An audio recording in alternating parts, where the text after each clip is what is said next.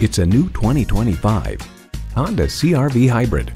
Between the capability and fuel efficiency, the CRV Hybrid is engineered to take you farther.